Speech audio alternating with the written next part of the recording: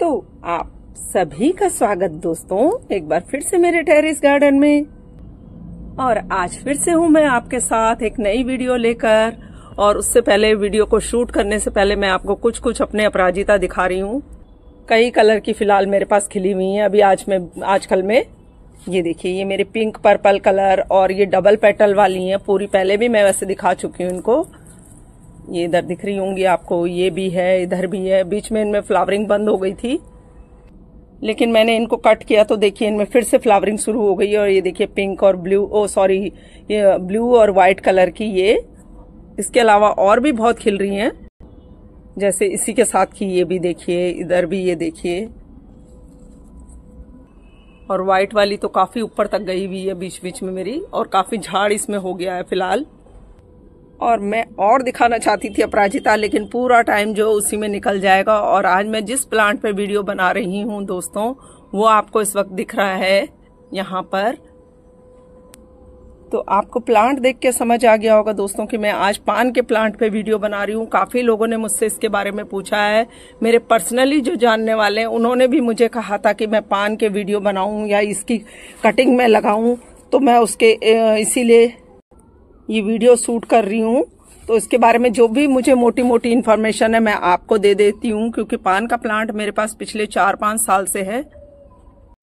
तो मेरे बहुत सारे जानने वाले जो हैं, जो मुझे पर्सनली भी जानते हैं, मेरे दोस्त, उन्होंने मुझे कहा था कि मैं पान के प्लांट पे वीडियो बनाऊँ, या बहुत सारे लोगों ने मुझे कहा था कि मैं पान की जो है कटिंग लगाऊँ। तो कटिंग तो फ़िलहाल मैंने ऐसे नहीं लगाई है।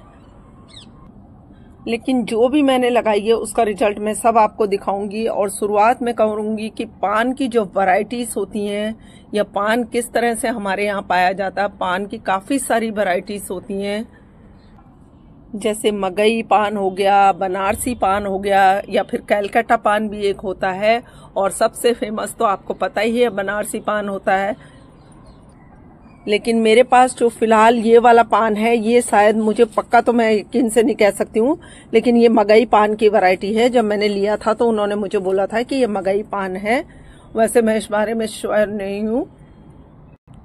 और पान के बारे में जैसा कि सब जानते हैं, ये एक लकी प्लांट है। वास्तु के अकॉर्डिंग भी ये बहुत अच्छा माना जाता है, पान का प्लांट।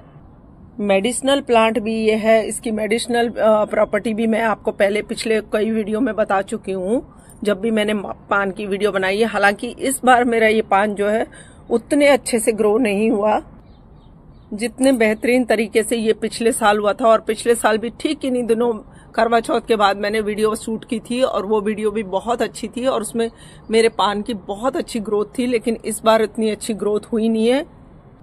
क्योंकि इस साल जब दिल्ली में हमारे यहाँ 50 प्लस की गर्मी पड़ी थी तो मेरा सारा पान का प्लांट खत्म हो गया था और मैं उन दिनों थी भी नहीं दिल्ली में। तो बच्चों ने जैसे रखा या इन्होंने जैसे रखा, ये रहा। और पूरी तरह सूख गया था उसमें, लेकिन बरसात आते आते देखिए, इसने ग्रोथ पकड़ ली थी, जबकि मैं इसको बीच में बिल्कुल करके गई थी। पान के लिए क्लाइमेट भी मैंने आपको पहले बता रखा है। कि इसको बहुत ज़्यादा गर्मी, बहुत ज़्यादा सर्दी बिल्कुल भी पसंद नहीं है। बहुत तेज गर्मी में भी ये झुलस जाएगा बिल्कुल, और बहुत सर्दी में भी ये बिल्कुल डोरमेंसी में चला जाता तो खत्म हो जाता है बिल्कुल पान। और लक्की प्लांट होने के साथ साथ पान जो है खाने के लिए पूजा में बहुत जगह यूज़ होता है हमारे यहाँ, जैसा कि आपको पता ही है। साथ साथ इसके क्लाइमेट का भी मैंने आपको बता दिया, बहुत ज़्यादा गर्मी, बहुत ज़्यादा सर्दी से नापसंद है। हमारे जो इंडियन वेदर में ये है, ये बहुत ज़्यादा जैसे नम और गर्म, जिसे बोलते हैं ह्यूमिडिटी वाले वेदर में ये जो है अच्छे से ग्रो करता है। ह्यूमिडिटी वाला वेदर इसको बहुत पसंद है, खासतौर पर हमारे यहाँ जैसे समुद्र के किनारे वाले जो इलाके हैं वेस्ट बंगाल हो गया या उड़ीसा हो गया, इन जगहों पर पान जो है बहुत अच्छे से ग्रो होता है दोस्तों। क्योंकि वहाँ पर गर्मी के साथ साथ इसे समुद्र से आने वाली हवाएँ जो होती हैं, वो नमी दे देती हैं। तो गर्म और नम इसका मतलब ह्यूमिडेट इसका वेदर ह्यूमिडेटिक हो जाता है।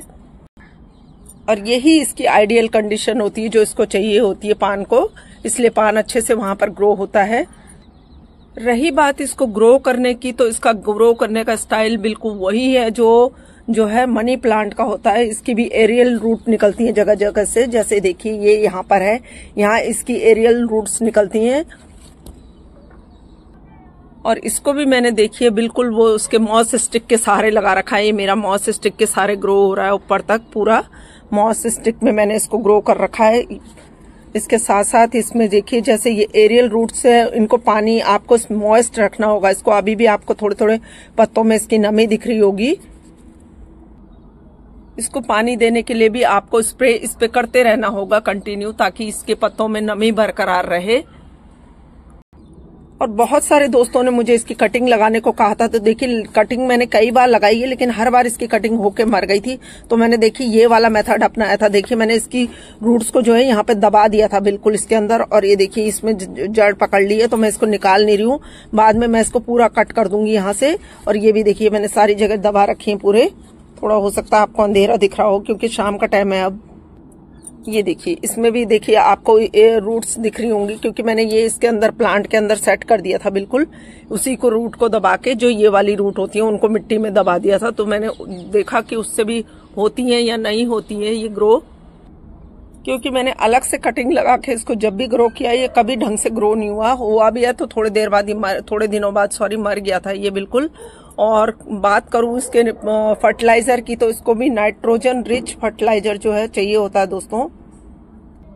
बहुत ज़्यादा जैसे फर्टिलाइज़र या खाना पीना खाने वाला ये प्लांट है नहीं, इसको आप जो है थोड़ा बहुत भी देंगे तो चल जाएगा। वर्मी कंपोस्ट आप इसमें डाल सकते हैं महीने में दो बार। ओ सॉरी दो महीने में एक बार आप वर्मी कंपोस्ट डाल सकते हैं इसमें। साथ साथ आप इसमें कॉफ़ी का पानी स्प्रे कर सकते हैं। जो कि नाइट्रोजन रिच फर्टिलाइज़र हो और कॉफ़ी जो होता है, जैसे एसिडिक इसकी सॉइल को बना देता है तो एसिडिक सॉइल भी इसको बहुत पसंद होती है। इसके साथ साथ आप इसमें एप्सम सोल्ट का जो वाटर होता है, उसको भी स्प्रे इसमें कर सकते हैं, पानी में घोल के, उसका भी इसके पत्तों में स्प्रे कर सकते हैं तो इसके पत्ते बहुत अच्छे से चलेंगे। और काफ़ी हेल्दी आपका प्लांट रहेगा, पान का हमेशा आपके पास रहेगा। मेरे पास तो ये पिछले चार पाँच साल से है और अब इसका जो क्लाइमेट है या जो इसकी ग्रो करने की, कब ये ग्रो होता है, कब ये डोरमेंसी में जाता है, कब ये मरता है, कब ये अच्छे से ग्रो करता है, मुझे सब चीज़ें बहुत अच्छे से समझ आ गई हैं। तो मैं इसको आसानी से हैंडल कर लेती हूँ अब अपने पास और इसके साथ साथ इसमें जो है बीमारियाँ लगने की जहाँ तक मैं बात करूँ, मेरे यहाँ तो नहीं लगी हैं बीमारियाँ, लेकिन कभी कभी इसमें रेड माइट जो होती हैं रेड माइट आईफिड जो होती हैं, वो अटैक कर सकती हैं। हालाँकि बैक साइड में कहते हैं वो पत्तों के लगती, मेरे यहाँ तो नहीं लगी है, क्योंकि मैं अक्सर नीम ऑयल का स्प्रे करती रहती हूँ। नीम ऑयल की वजह से देखिए पत्ते ऐसे हो रखे हैं, थोड़े से अगर आपके प्लांट में एफिड का अटैक होता है तो मेरे यहाँ तो खैर कभी हुआ नहीं है, इसलिए मुझे इतनी ज़्यादा इसकी ज़रूरत पड़ी नहीं। बीच बीच में मैं नीम ऑयल डाल देती हूँ तो उसी से सही रहता है ये। और जैसे मैंने वीडियो के पहले भी इसको बताया आपको कि तेज गर्मी और तेज सर्दी से आपको बस अपने प्लांट को किसी भी कीमत पर बचाना है। बहुत तेज गर्मी में तो मेरा खुद बिल्कुल खत्म हो जाता है। मैं कैसे कैसे इसको बहुत तेज गर्मी तो मैं इनको, इसको जो है उठा के जो है यहाँ मनी प्लांट के बीच में डाल देती हूँ, ताकि ये यहाँ पर अच्छे से ग्रो हो और इसको, इनकी नमी साथ साथ इसको मिलती रहे। सर गर्मियों में मैं नेट भी कभी कभी लगा लेती हूँ, लेकिन फिर भी इस पे गर्मी का जो है बहुत असर होता है। और सर्दी में मैं इसको पूरा उठा के अंदर जीने की साइड रख देती हूँ, जिससे कि इसको थोड़ा सा इसको गर्माहट वहाँ पर मिल जाए पूरी तो ये अच्छे से ग्रो हो जाए। बस आपको यही चीज़ का खास ध्यान रखना है इसका कि इसको बहुत तेज गर्मी और बहुत तेज सर्दी से बचाना है।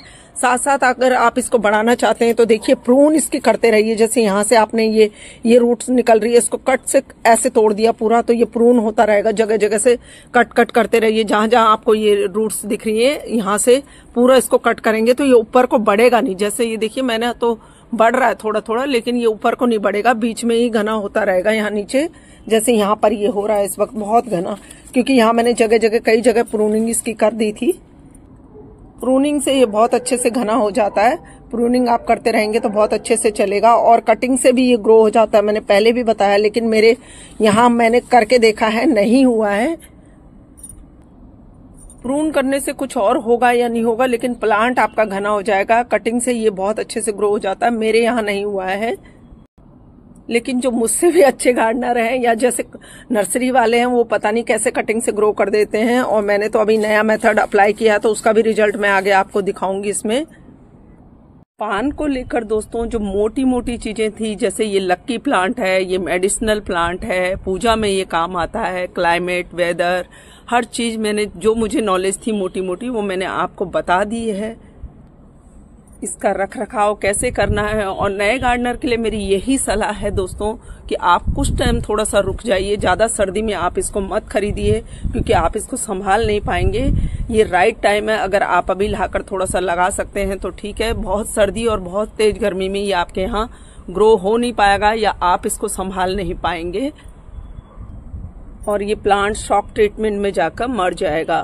तो ये जो भी इन्फॉर्मेशन मैंने आप लोगों को दी है। उम्मीद करती हूँ आपको ये पसंद आई होगी मेरी जो द्वारा दी गई जानकारी, जो भी मैंने आपको दी है इन्फॉर्मेशन और यही कहूँगी आप लोगों से कि लाइए पान, लगाइए पान और खाइए पान। जाते जाते यही कहूँगी कि आप लोगों को अगर वीडियो पसंद आई हो तो चैनल को सब्सक्राइब कीजिए दोस्तों, वीडियो को लाइक कीजिए। वीडियो को देखने के लिए थैंक यू सो मच। मिलते हैं किसी दूसरे वीडियो में। तब तक के लिए बाय दोस्तों।